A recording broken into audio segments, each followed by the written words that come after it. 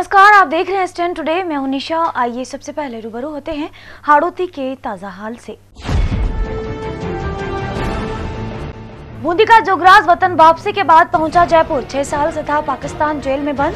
रविवार को मिल सकेगा माता पिता से।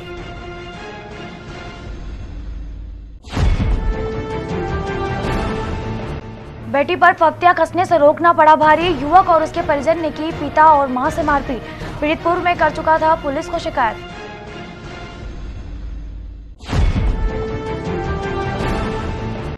वहीं बोली में सरकारी खरीद केंद्र पर जिनसों की तुलाई नहीं होने से नाराज़ किसानों ने किया हंगामा। कई किसानों को लौटना पड़ा बेरंग।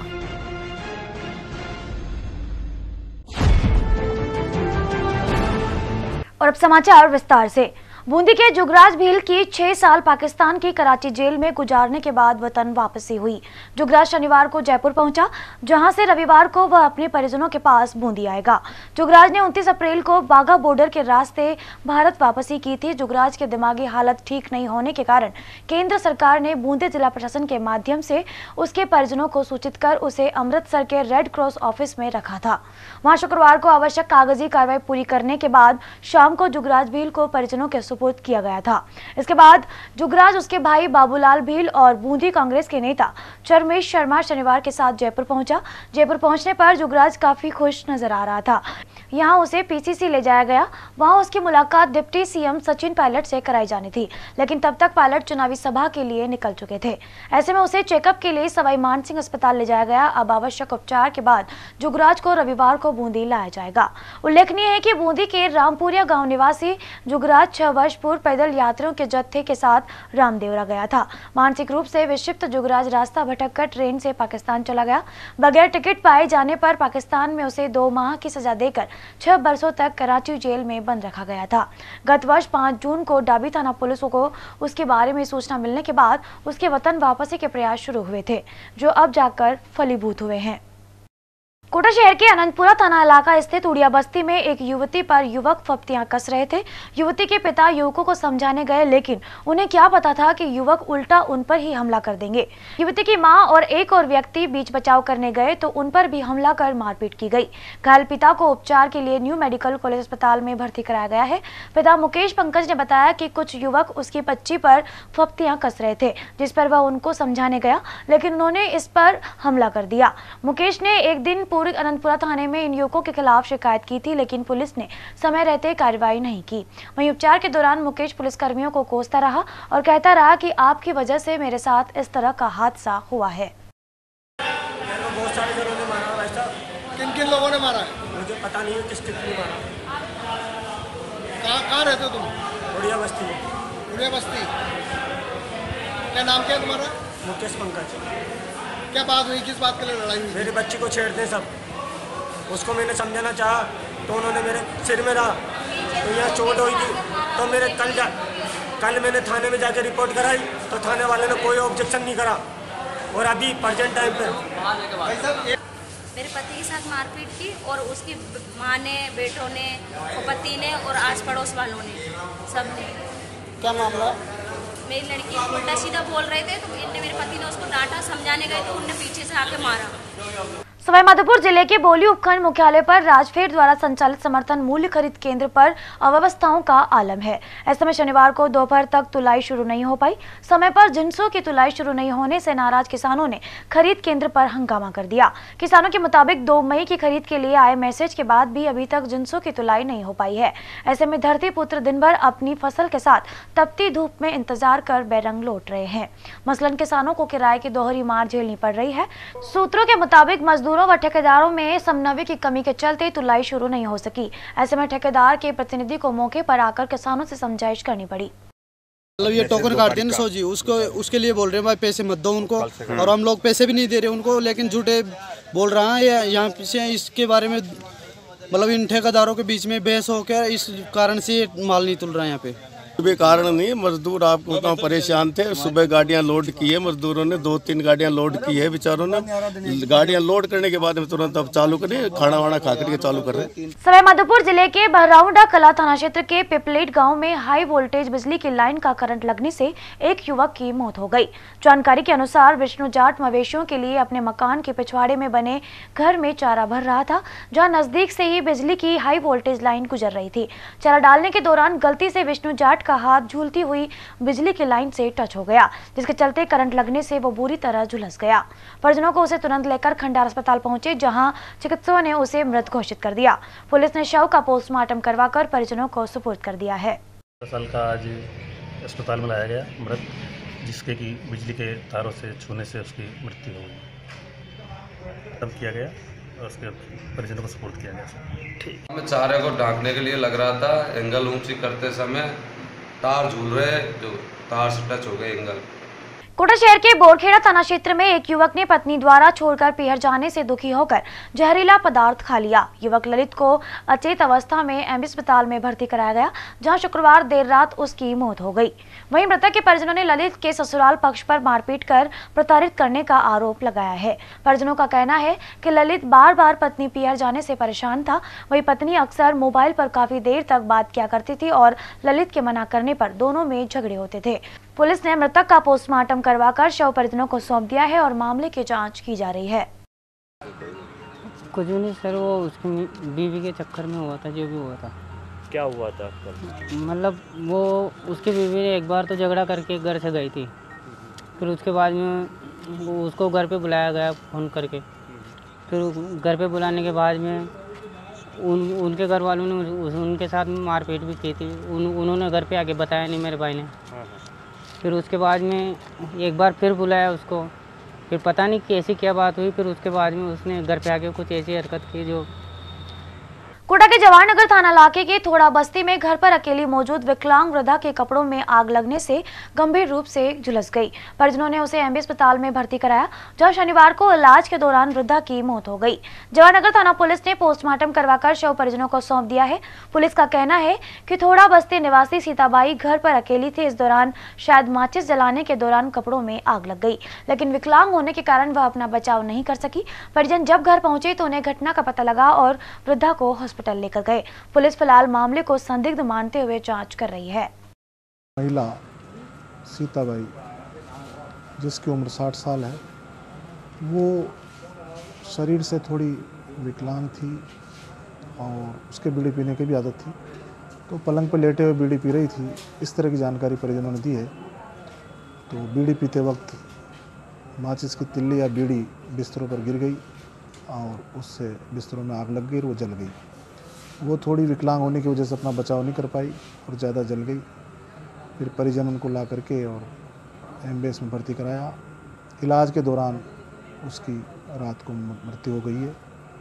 बूंदी के दबलाना थाना इलाके में जहरीला दाना डालकर राष्ट्रीय पक्षी मोर का शिकार करने का मामला सामने आया है।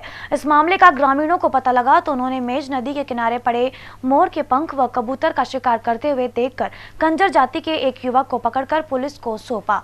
वहीं घायल मोर को इलाज के लिए दबलाना पशु चिकित्सालय पहुँचाया। कोटा शहर के निकलने वाले सॉलिड वेस्ट मैनेजमेंट के लिए नगर निगम अब पांचवी बार टेंडर जारी करेगा ताकि कोई कंपनी कचरे से बिजली उत्पादन करे और कोटा को कचरे से मुक्ति मिल सके। इससे पहले चार बार किए गए टेंडर फेल हो चुके हैं।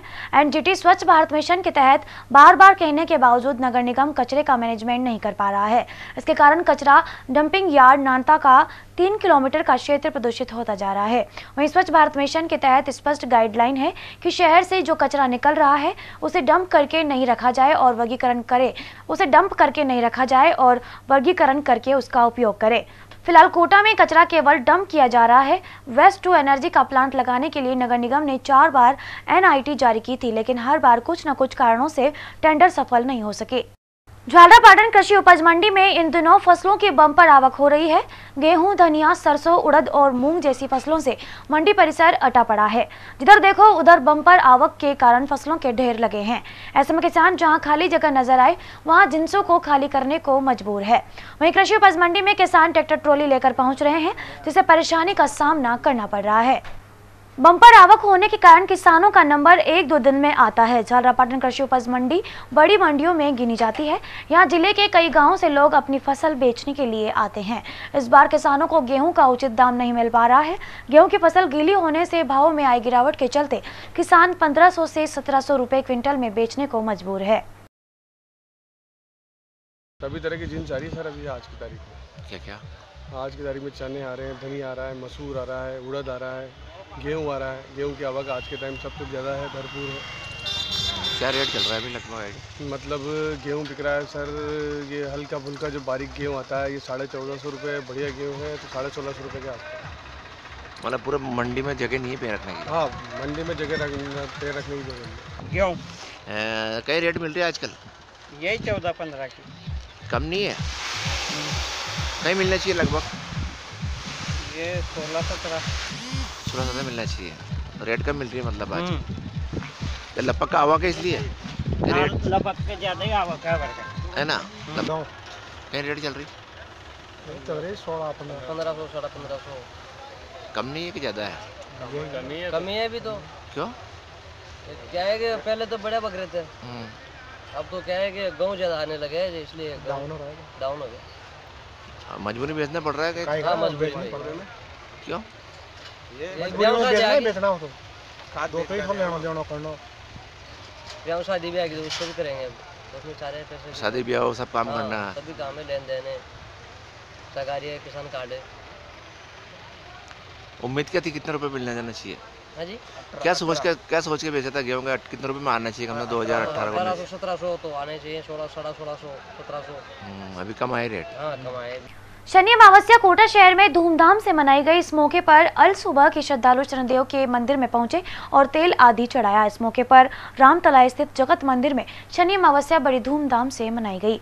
सुबह शनिदेव की मंगला आरती हुई। इसके बाद पंचामृत से अभिषेक किया गया। वहीं शाम को महाआरती का आयोजन हुआ और सुंदरकांड का पाठ किया गया।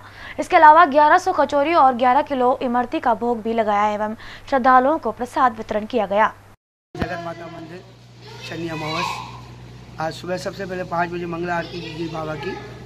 मंगला आरती के बाद ग्यारह बजे बाबा का अभिषेक किया गया, जिसमें सरसों का तेल तिल्ली का तेल और गर्मी के कारण अनार के जूस से, आम के जूस से और नारियल के पानी से और पंचामृत से और शनिदान किया गया छत्तीस झालावाड़ जिला कारागृह की 11 महिला बंदियों को योग्यता, उद्यमिता एवं विकास संस्थान ने 15 दिवसीय टेलरिंग एवं ब्यूटी पार्लर का प्रशिक्षण दिया।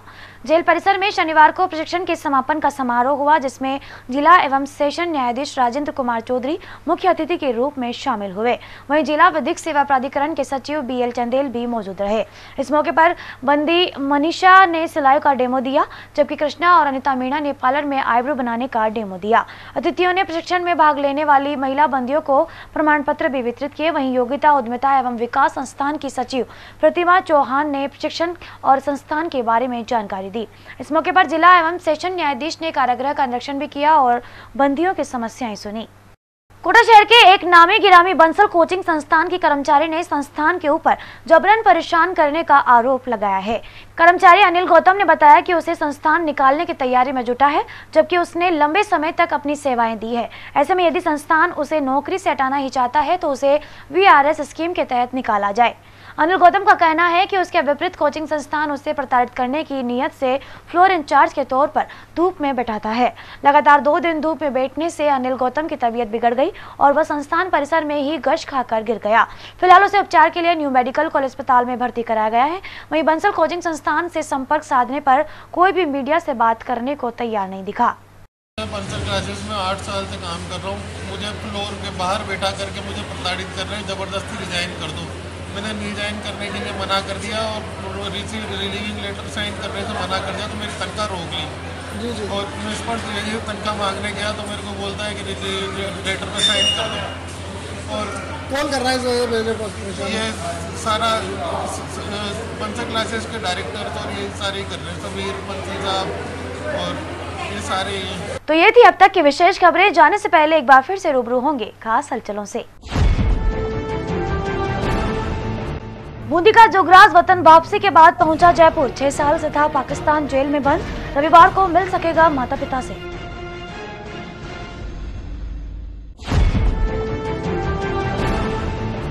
बेटी पर फप्तियाँ कसने से रोकना पड़ा भारी। युवक और उसके परिजन ने की पिता और माँ से मारपीट।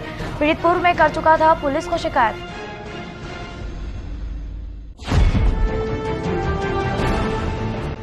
वहीं बोली, में सरकारी खरीद केंद्र पर जिंसों की तुलाई नहीं होने से नाराज़ किसानों ने किया हंगामा। कई किसानों को लौटना पड़ा बेरंग।